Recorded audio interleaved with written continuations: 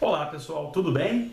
Bem-vindos mais uma vez aqui no canal. Hoje a gente vai estar apresentando repartição térmica. O vídeo anterior foi sobre o ciclo térmico e nesse aqui falar um pouquinho sobre repartição térmica e possivelmente algumas questões que caem na prova de certificação para inspetor de solda nível 1.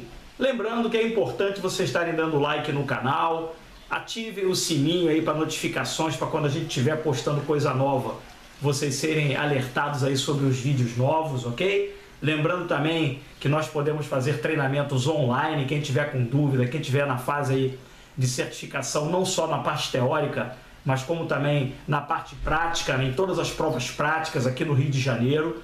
Parte teórica pode ser à distância, não tem problema nenhum. Agendem seus horários. O meu contato de WhatsApp está no final do vídeo, ok, pessoal? Então vamos lá.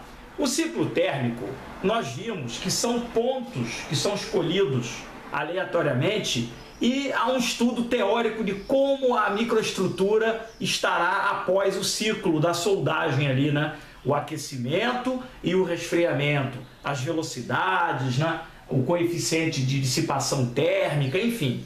Já na repartição térmica, a gente vê a junta como um todo. Isso é muito importante no estudo para qualificação de procedimento, controle de deformações, extremamente importante e cai em prova, né? Então, mais importante fica ainda, né?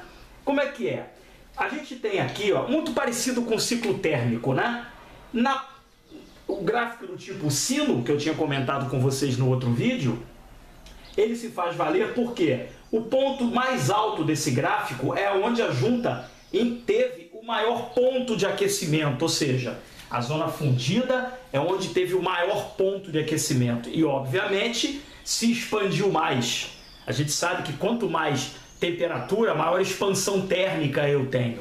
E essa expansão, ela não é uniforme. Esse gradiente ou essa variação de expansão térmica não são uniformes, né?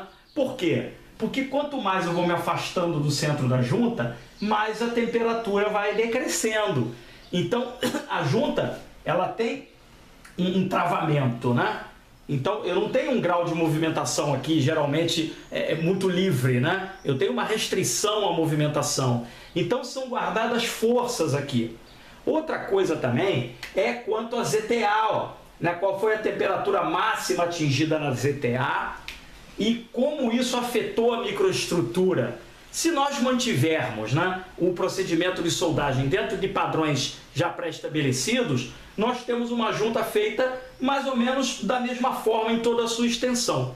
Então é muito importante para controle de deformações e para saber como foi a modificação ou as modificações microestruturais que vão levar às modificações das propriedades mecânicas da junta, que por muitas vezes levam à desqualificação daquela junta ali, dependendo do material que está sendo soldado.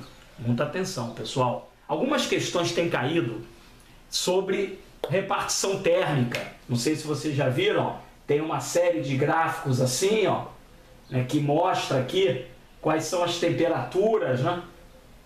A velocidade, a temperatura que leva para a gente prever aqui a microestrutura. Se vocês quiserem maior informação sobre esse tipo de questão, entrem em contato comigo, agendem seus horários, ok, gente? Espero que vocês tenham gostado do vídeo e até a próxima oportunidade e todos nós juntos rumo à certificação. Bom estudo e até lá!